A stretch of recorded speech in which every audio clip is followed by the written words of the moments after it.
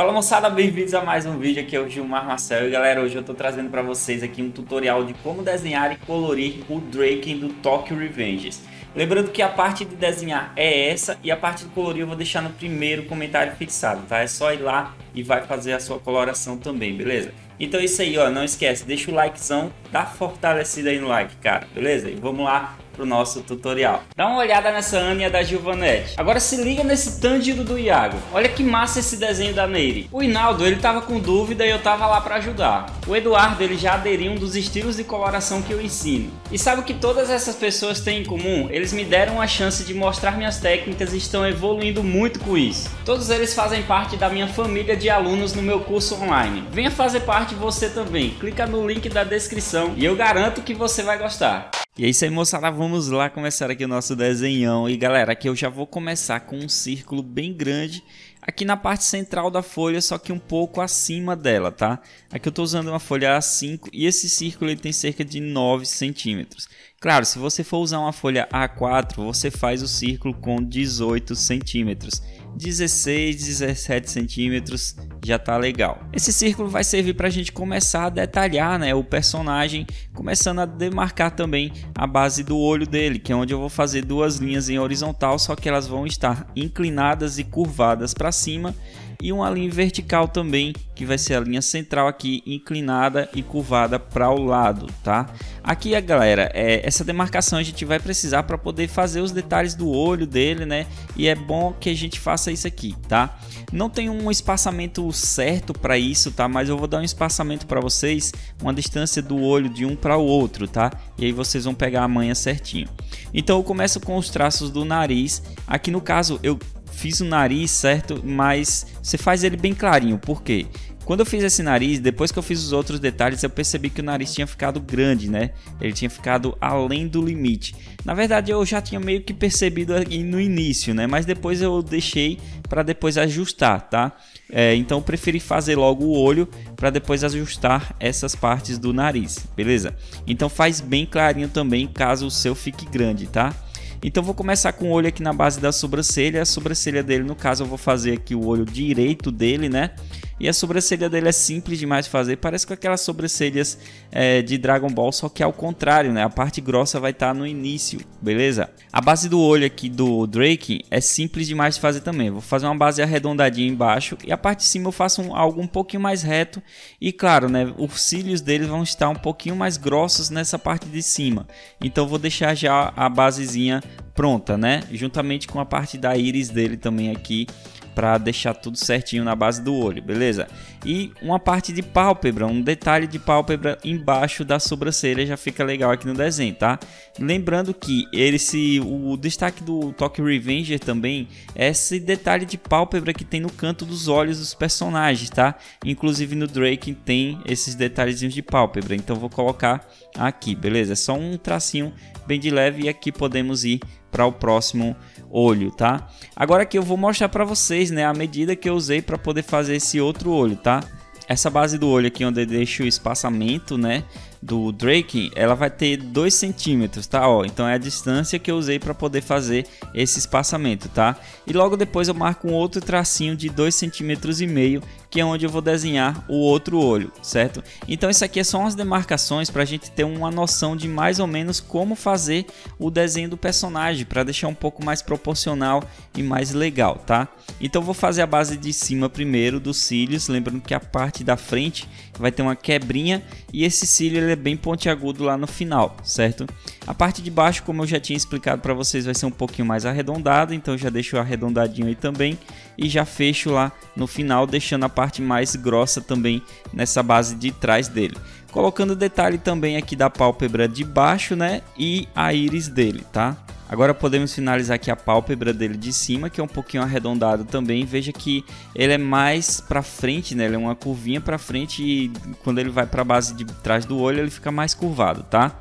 E assim a gente pode fazer a sobrancelha dele, que é como eu expliquei, né? Ela é parecida com a de Dragon Ball, só que ao contrário, a parte fina é lá no final, tá? E a parte da frente vai passar um pouquinho do olho. Veja só que a demarcação que eu fiz do olho, a sobrancelha passa um pouco mais. E aí vai deixar um aspecto bem bacana sobre isso, tá? Bom, antes de mais nada, eu já vou aqui demarcar também a base do rosto dele, tá? Então assim, ó, foi demarcando essa base do rosto que eu consegui notar onde eu deveria desenhar o nariz, tá? Então é nessa parte que eu vou apagar o nariz e vou deixar ele um pouquinho só mais curto. Veja que não ficou tão curto, né? É, eu apaguei só um pouquinho mais, eu deixei ele um pouquinho mais curto só para deixar uma proporção melhor aqui no personagem e agora tá legal, a gente pode continuar, né? Agora aqui a gente pode fazer a base da boca também, né? Essa parte da boca, ela é simples demais, cara. Vai ser um traço em cima, um embaixo e também eu vou fazer na parte de trás dela aqui uma inclinação, tá vendo? Vai deixar um aspecto bem bacana colocando detalhes de dente também nele, né? Vai ter o dente na parte de cima, é só um tracinho mesmo para representar os dentes dele. E a base da língua é só um cortezinho aqui no canto, vou até escurecer um pouco mais para ficar bacana e colocar um traço embaixo, né, para representar o lábio inferior dele, tá? Agora aqui a gente já tem uma noção bem legal do desenho, veja que já vai ficar massa, vai ficar bacana. Se você não deixou o like ainda, essa é a hora de deixar um gostei no vídeo, cara, me ajuda demais, tá? E vamos continuar aqui agora desenhando a base do queixo dele. O queixo é bem arredondado, veja que eu faço bem arredondadinho, né? E eu vou dar um segredo bem bacana para vocês aqui agora. Pela estrutura do desenho, o maxilar dele vai dobrar mais ou menos na altura do nariz. Então eu vou passar um tracinho leve para a altura do nariz e aí eu vou levando o traço e quando eu chego na altura do nariz, aí eu faço a curva do maxilar dele, né, que é essa lateral do rosto que a gente tem, tá? Então veja que vai ficar numa proporção bem bacana é, depois da gente ter feito isso, beleza? Agora aqui eu vou fazer o seguinte, a orelha dele, tá? A orelha vai da ponta do nariz também, né? Ó, basicamente da ponta do nariz até a base de cima do olho, certo? E aí eu vou levando os traços, né? Eu vou curvando, claro, lá em cima ele vai ser bem mais curvado, tá? E depois a gente acrescenta aí no personagem os detalhes da orelha, os detalhes por dentro, né? Da orelha para deixar tudo bem facinho aí, vai ficar bonitão. Lembrando que o Drake também usa um brinco, né? Um brinco argola, então eu vou colocar o detalhe do brinco argola logo após que eu finalizo os detalhes da orelha, beleza? O brinco argola é super fácil de fazer, como se fosse duas letras U, tá? Aí você vai só emendar ela aqui na parte da frente. Se você ver, eu realmente desenhei duas letras U, beleza? Então aí vai ficar bem legal. Aqui eu posso fechar o detalhe da cabeça do Drake, ó, puxando aqui o traço da metade da orelha, tá vendo? Nessa base de cima, vai ficar legal demais. E aqui agora eu posso fazer o detalhe do pescoço dele, que vai pegar aqui dessa parte de baixo do queixo, tá? Veja onde eu tô fazendo, é depois da curva do queixo, eu vou fazer o detalhe do pescoço do Drake. E aqui mais ou menos na metade da orelha, aqui na parte de cima, né? Na parte central, da, na verdade, da orelha, tá? Não chega bem na metade, mas é quase na metade da orelha, beleza? E aí eu vou puxando o outro traço do pescoço dele até finalizar a parte de baixo também, né, onde eu vou colocar os detalhes da roupa. Como a gente já está aqui nessa base, já podemos desenhar todos esses detalhes de curvas da roupa também, tá? Então vou começar aqui a colocar os detalhes das curvas. Aqui no caso a gente vai trabalhar duas curvas nesse lado esquerdo dele, né? Então vou fazendo aqui as dobras da roupa para deixar o destaque bem bacana. E do outro lado, mais ou menos na altura da parte de baixo da boca, eu vou começar a colocar outras dobras de roupa. Bom, agora aqui eu vou deixar um segredinho para você desenhar o cabelo dele, tá? Principalmente essa parte da trança dele aqui, certo? Então o que vai acontecer? Eu vou desenhar a primeira basezinha da trança e depois eu vou fazer duas demarcações bem leves, tá?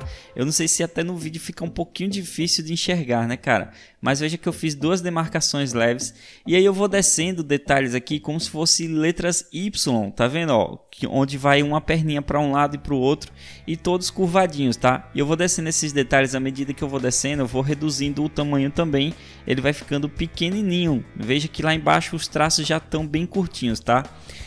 A partir daí eu posso colocar agora todas as curvas, né, que gera a trança, beleza? E assim vai ficar bem fácil, bem mais simplificado de fazer essa trança no personagem, tá? Então veja que eu vou fazendo, colocando gominhos, né, que vai representando a trança e veja que ela vai ficando meio que se encaixando com os detalhes que a gente fez no centro. Vai ficar muito bacana, cara. Aqui agora vamos fazer a mecha da frente. Ele tem uma mecha bem grande, né? uma franja na verdade bem grande aqui na frente. E galera, aqui eu vou chamar a atenção sobre um detalhe, tá? Eu vou continuar essa franja, eu vou deixar ela finalizada. Veja que eu vou fazer as curvinhas lá em cima e tal. Só que o que acontece, cara? Quando eu tava desenhando, né? Quando eu tava finalizando o desenho aqui, eu percebi que essa franja ela ficou alta demais, tá? Eu fiz até os tracinhos do cabelo dele ali em cima da testa dele, mas acabou que ficou alta demais. Então eu meio que vou consertar depois, beleza? Então veja que eu finalizei tudo, né? Mas aí eu já apaguei agora, tá? e vou ajeitar essa parte da trança dele, na verdade essa parte da franja dele, né? Eu vou descer um pouco mais, tá? Apaguei os detalhes que eu já tinha feito, mas aí a gente consegue consertar direitinho e veja que agora ficou mais coerente, né? Ficou mais é, proporcional ao personagem descendo um pouco mais essa franja, tá? E assim eu vou finalizando os detalhes do cabelo, que não são detalhes difíceis de desenhar também, apenas alguns tracinhos para representar curvas do cabelo, né? Vai ficar bacana, vai ficar bem legal, tá? É, e vou adicionar também detalhe aqui, ó, na base do pescoço, certo? Pescoço para finalizar um tracinho ali só para representar mesmo e já vai deixar uma finalização legal aqui no nosso Drake. E aí vocês perguntam, e aí Gilmar, mas e a tatuagem, como é que vai ser? Galera, seguinte, antes da tatuagem eu vou fazer a line art do desenho. Eu vou usar essa borracha limpa-tipos para fazer, é, deixar o esboço bem clarinho, tá? E assim eu posso passar a minha canetinha bem de boa aqui para fazer todos os traços da line art. Lembrando que eu sempre gosto de variar o traço da line art, tá? Onde vai ficar uma parte um pouquinho mais grossa, outra um pouquinho mais fino, né?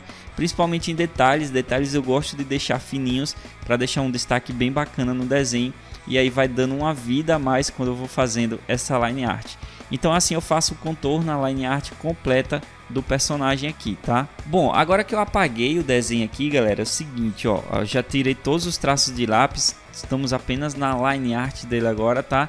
E aqui é o seguinte, pessoal, nós vamos começar o dragão. O dragão dele, tá? Eu vou fazer direto na canetinha, mas cara, se você não tem essa habilidade ainda para fazer direto, mano, faz com lápis primeiro, depois você faz o contorno aí, tá? Então, o dragão é o seguinte, eu vou deixar aqui ele é meio que aumentado em duas vezes, tá? Já dá para você pegar a noção de como fazer. Você vai pausando o vídeo porque é um tribal, né? Uma coisa até um pouquinho complicado de fazer. Para mim, a parte mais complicada do desenho é fazer esse dragão. Mas ele basicamente, cara, tem a parte da boca na frente, né? Os dentes, onde é representativo, claro, é no formato tribal, né? Vai representar. É, a parte do olho é como se fosse uma espiral, tá? E aí a gente fecha a base da cabeça também, beleza? Aí depois a gente continua os outros detalhes aqui do corpo do dragão, né? Digamos assim. Lembrando que ele tem dois detalhes como se fossem, é, não sei dizer, é, com um chifre ou barba mesmo voando assim para trás, tá? Onde ele vai ficar em espiral também, certo? E em seguida a gente coloca os efeitos finais aqui no desenho, que é como se fosse algo meio entrelaçado, o dragão, né, tá meio entrelaçado, onde uma partezinha vai representar o braço dele com garras, né? E outra parte o restante do corpo do dragão, tá? Claro, é um tribal, é uma coisa bem complicadazinha de se explicar aqui, mas vocês vendo eu tenho certeza que vocês vão conseguir fazer, beleza? Bom, galera, e é isso. Assim a gente encerra a primeira parte do nosso desenho. Vou ensinar uma coloração bem legal para vocês, principalmente na pele do personagem, então não perde a parte 2 que está no primeiro comentário fixado, tá? Até a próxima. E não esquece, deixa o likezão.